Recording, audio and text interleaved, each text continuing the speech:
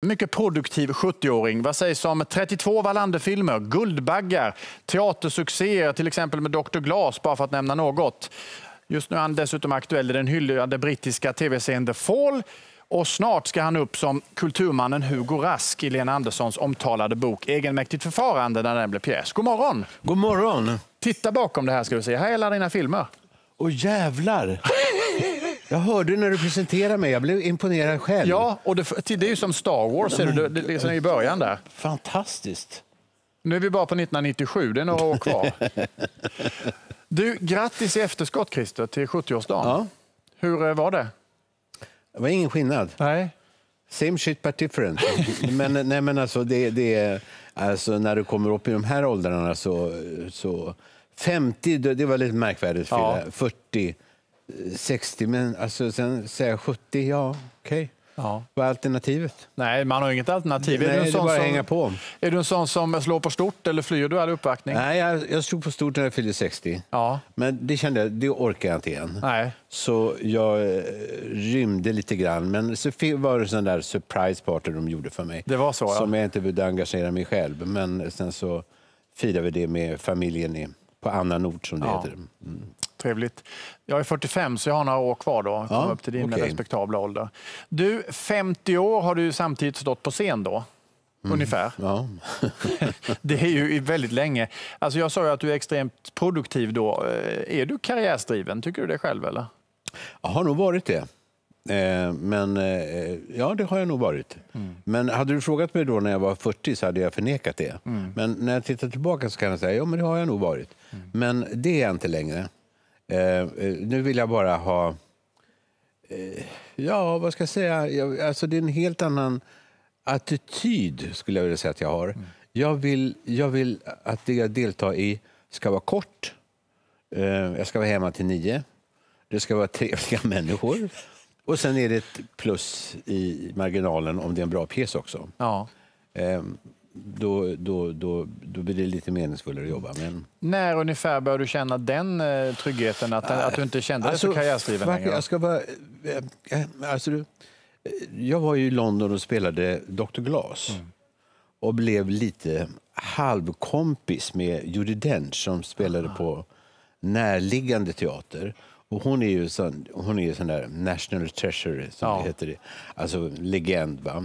Och är en otroligt häftig dam. Och eh, 82 år och eh, nästan blind och jobbar hela tiden, hela tiden. Och då frågade jag henne hur hon väljer sina roller. Och då sa hon, då sa hon precis så här, Nej, men när jag var 40, när jag var 50, då var karriären väldigt viktig och jag, då, jag kunde aldrig lämna besked för jag tänkte liksom, är jag verkligen bra i det här? Den här regissören, är det, mm, undrar, vänta, ja, vi, vi får se. Ja, ja, och så. Men nu, så nu när de ringer, och jag, så frågar jag så här, jag frågar några saker. Jag frågar, hur lång blir föreställningen? Och om då producenten eller regissören säger den blir två och då avbryter man och säger nej, jag är inte intresserad. För det måste vara under två timmar. Sen frågar jag vilka som är med. Och du säger den och den och den. Sen kommer hon, den är trevlig, hon är trevlig, men det det var kul. Och eh, sen säger hon så här, ja men det tar jag. Och då säger jag, ja men då skickar vi det pjäsen. Nej, det behöver ni inte göra. Den läser jag på kollet eh, när jag kommer dit. Och då säger jag så, och så läser jag pjäs på kollationeringen. Och då tänker jag, nej men gud, det är en bra pjäs också. Ehm, och, eh, så det är lite, alltså när du blir i den här åldern så är det ju viktigt att eh, Alltså man blir som en aktersnurra. Va? Ja. Den måste startas varje dag. För så fort, så fort du inte startar den, alltså, då, kommer den, då kommer den rosta igen. Ja, okej, ja. Så det är liksom lite... Lika bra att köra, liksom. Ja, li, lite Ja. grann att vara igång. Alltså. Ja. Men jag tänker då, eh, eh, många titlar där på den här listan, Ja. en, långt ifrån alla, men en del titlar på den här listan stavas ju Wallander. Ja. Ja, då tänkte jag på, för jag- någonstans över 30 filmer, där tror jag det var. Har det, 32. varit, ja, har det varit ett sätt att hålla den där motorn igång då? Så att du, alltså, du har lärt känna karaktären och det har varit väldigt eh, Ja, uppskattat. jo, men så är alltså det ju. att- Och sen är det ju liksom på det sättet att när du är med så mycket så lär du ju känna Ystad som du har en... Mm. Ja. Liksom, eh, lär känna personalen på alla krogar. Ja. Alltså, alltså, du kommer ju tillbaka till någonting. Ja. Alltså till, till gamla vänner. Det blir som en cirkusfamilj. Ja. Du längtar tillbaka. Ja. Vi bodde ju på Stickgatan i Ystad, du, du, Just det, du känner till. Vad, vad har du för, alltså, känns Ystad som någon slags hem också för dig när du kommer ner? Ja, eller? vi- alltså, det kändes som ett hem första gången jag kom dit. Mm. Jag, jag tycker väldigt mycket om Ystad. Det sitter jag inte säger bara för att jag pratar med dig. Men sen, jag har inte eh, vänt tillbaka därför att det har ju blivit lite så problematiskt om man kommer dit på sommaren. Mm. Mycket turister. Och då blir det alla dessa Du hamnar mitt i någon sån här Wallandervandring. Ja, du vet. Ja. Eh, selfies och... Ja. Du får inte vara fred helt enkelt. Nej. Alltså, jag har en snus i mun som man måste få bort. Ja, men eh, vet du vad? Ja. Vi, vi, vi, eh, vi visar ett klipp, tycker jag, medan du Gör tar det. bort den. Eh, Det handlar om eh, The Fall, den brittiska kriminalsuccén Mm. The Fall, eh, där du spelar i säsong tre. Ska vi ta och titta på ett klipp? Ja, medan du tar ut jag snusen? det. Det är bra. Some patients have keys to lock their bedroom doors, but staff carry override keys. Uh, this way, please.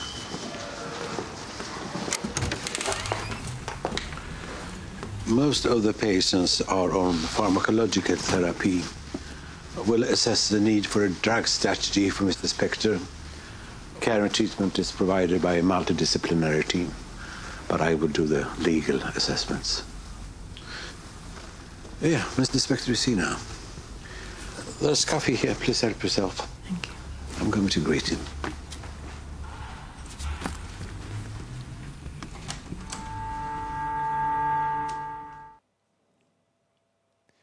Ja, jag är ett nyblivet fan av The Fall. Jag har inte kommit till säsong tre än, men jag ser mycket fram emot Ja, den. har du börjat titta på den nu? Ja, jag har sett första säsongen nu av min fru. Ja, men det är skitbra. Ja, alltså. visst är det.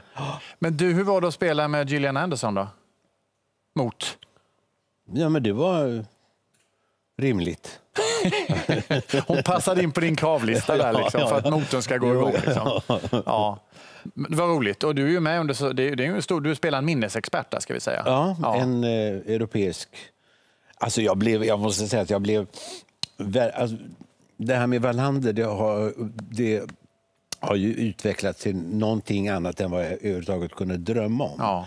Eh, alltså, det blev ju inte bara Ystad. Jag menar, London, internationella anbud. Ja.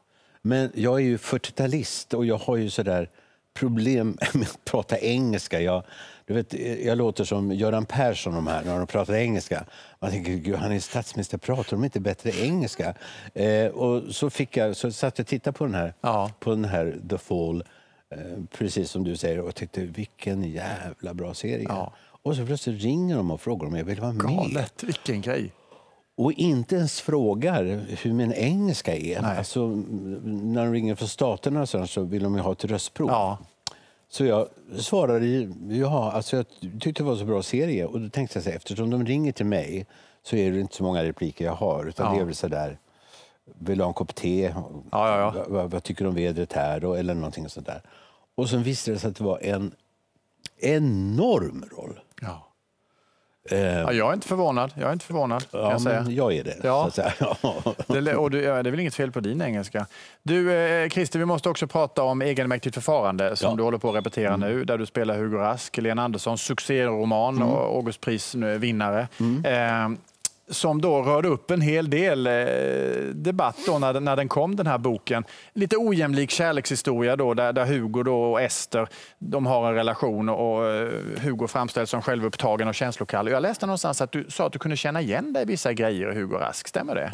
Ja, alltså det, det kan jag, alltså jag tycker att det är...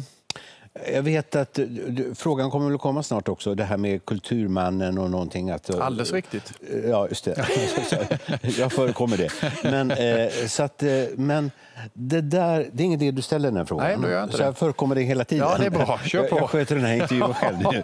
Nej, men Jag lutar mig tillbaka. Okej. Ja. Nej, men därför att ehm, jag vill bevara det, eh, den läsningen som var första gången när jag läste den här boken. Sen kommer det så många sådana här debatter vid sidan av.